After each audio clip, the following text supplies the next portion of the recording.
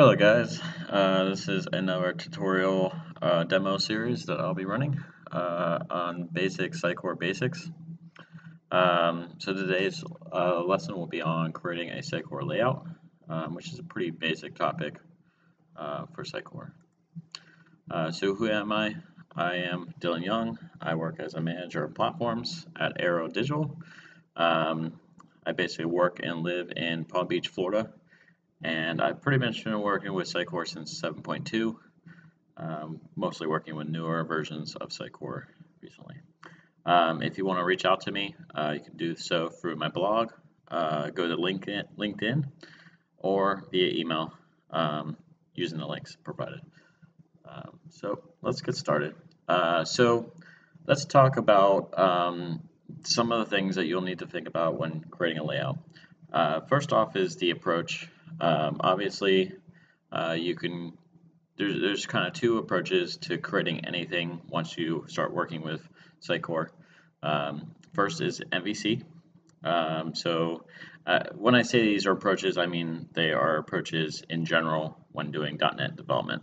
So there's the approach of doing it the site in MVC or doing it with web forms. Um, typically, um, for most of my sessions, I'm going to teach um, I'm going to be showing you MVC because that's the new standard of .NET, um, and web forms is kind of kind of old school and uh, it's kind of losing popularity. So um, uh, the next thing is uh, layout strategies. Um, so there's different strategies when you create your layout. Um, you'll see that some of these different layout um, kind of ways to build the layout. one is you know create one layout that like I said, it was to rule them all, but basically just one layout that can be um, flexible enough to support all different types of, um, you know, themes or or layout structures such as you know you could have one layout but then you know use renderings to allow for two columns three columns you know one column or um, variations of columns and, and grids and etc um, the other approach is creating layouts for each of these columned um, approaches. Um, but um, obviously, the I usually uh, tend to lead, lean towards having as few layouts as possible um, and building more layouts that can support, um, you know, so so if you go one layout, if you use renderings like I mentioned, you can build all types of different um, layout structures without having to build, you know, 50 different layouts um, to support that same um, structure. So, um, I'm so next up, I'm going to show kind of a demo. Um, I'm going to basically use MVC and using the one layout to rule them all uh, strategy um, and uh, show you kind of how to set that up and maybe discuss some of the implications of having just one and you know how to set up placeholders etc um, and then in future series you'll see me discuss uh, how to create a view rendering how to create a controller rendering and uh, discussing some of those uh, things. All right uh, so now we'll jump into a quick demo of uh, setting up a layout. Um, so I'm going to start from the code base I had for the example um, uh, setting up a, Sitecore site from one of my previous uh, demo videos. Um, so uh, if you don't know how to set up a, a Sitecore environment, go ahead and watch that video, which I've included in the links below. And uh, that will get you to this point, and then you can use this uh, tutorial to learn how to create a layout. Uh, so I'll go ahead and log in first. Um, just have the uh, example um, admin B. I'll go ahead and click login. Uh, so I'll show the Sitecore side of things first, and then I will show um, just some of what you would have in your layout file um, from a uh, you know a coding standpoint. Uh, I won't save the password. So I'll go into content editor.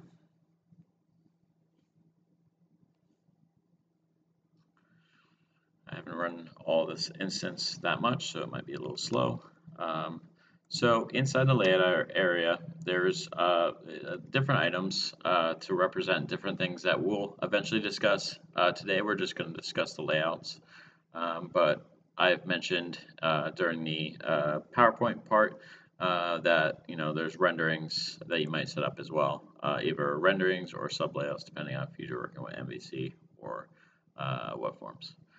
So let's go ahead and just do layouts. Um, so usually what I do is I'll put I'll put all the layouts for a certain project inside a folder. Um, but you don't have to do this necessarily. But you can go ahead and pick layout folder. Um, and I'll just call this example since that's the name of our project. Click OK. Um, and then I can do insert and you have a choice between a layout and an MVC layout. Uh, they're pretty much the same thing, but uh, behind the scenes, I think they create different things. I think this would create a, at .ascx, whereas this would create a .cshtml. Um, I'm not a big fan of this uh, layout creation process because this actually creates the view for you. Um, but I'd rather define that in my uh, solution, and then that would be published. But um, we'll just go ahead and select MVC layout. And we'll give it a name of basic big one. But um, since I'm going with a more uh, one size fits all layout you want to give it a kind of appropriate name of basic or main or something like that to represent that um, whereas if you were creating one specifically for three column, two column, etc., you would uh, you you'd give the names uh, appropriately for whatever um, layout situation you're you're trying to fill. Uh, so now it'll let me choose the folder to put this into. I'm going to pick example. Um, and now it will also let me pick where this will go inside the uh, MVC root directory. Um, I, I definitely recommend it should go inside shared. Um, it doesn't make sense to go views, layout, or anything like that. I think it's a little bit more clear that it's going to, your layouts, files, your basic view renderings will always show up in your shared part of the tree or part of the uh, website project. I'll say create. And basically what it's done is it's gone ahead and actually created that file for you um, underneath views, shared basic.cshtml, which I can show you real quick. Um, um C um, development example. So inside the, oh wait, um, up a little bit, sorry about that. Inside so because we have the Sitecore environment split from um, from our project solution, uh, then you know it's going to create this file in a really um, off the off the beaten path kind of way. Uh, so you can see it's created in basic.cshtml, but you have no control over that right now. Uh, it's way outside of your source control.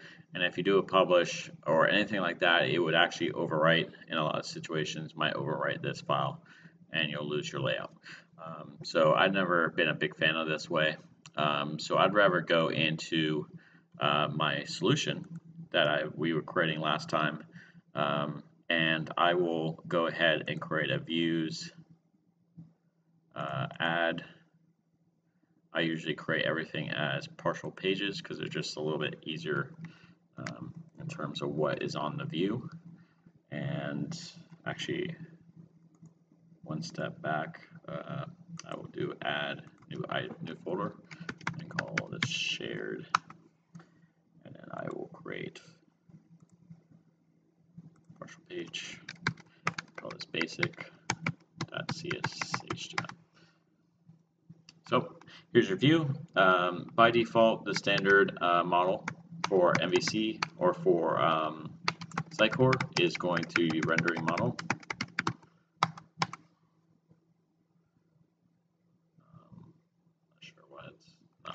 really showing IntelliSense, but um, so that's kind of the first bit. So now that we're going to create the, the view itself, which is really, there's really not a big difference between a layout and a view rendering. There's, uh, you know, a view rendering might have um, a little bit more logic in it, whereas a layout, you really should keep it very generic um, as much as possible. So on this layout that we're going to create, because we want to use this as a base for all our future templates, um, we really would just want it to be very, or future layouts or future views or whatever inside Sitecore to be used across all our pages.